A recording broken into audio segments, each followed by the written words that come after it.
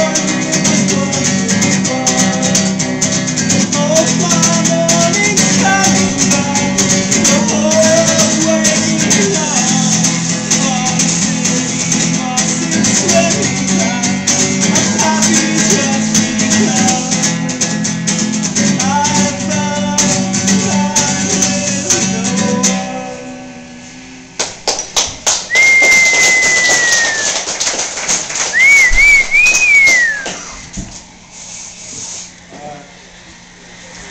one might be kind of hard to hear.